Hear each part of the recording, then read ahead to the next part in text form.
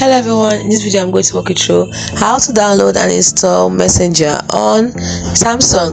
First thing you do is go to google play tap on google play store and then at the bottom here tap on the search icon. At the top here search bar type messenger.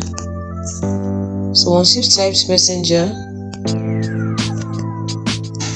then you can choose their different versions. We have messenger lite messenger app new version app for facebook.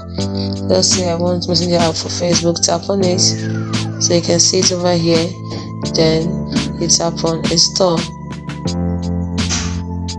So it's pending. Give it a few seconds to download and install.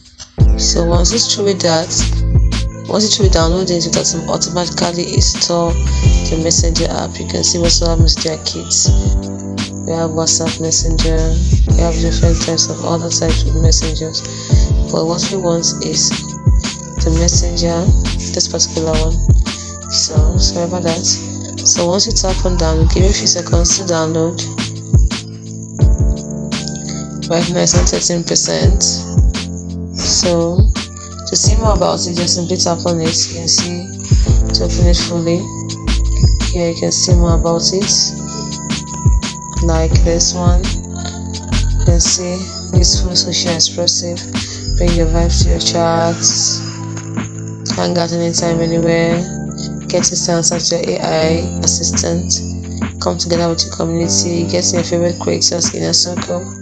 Drop a note with your thoughts. Capture the moments in the moments. So you've seen all the things we can do. Getting trained to the things we can do using messenger and then scroll further down. You get to see the ratings and reviews by different people. Who use the same type of device that you use. As you can see someone melissa kennedy we have another person. So once you through with this. Let's go back right nice just finish downloading and it's installing so give a few seconds to install it's installing automatically so once it's true, we can now open up our messenger app.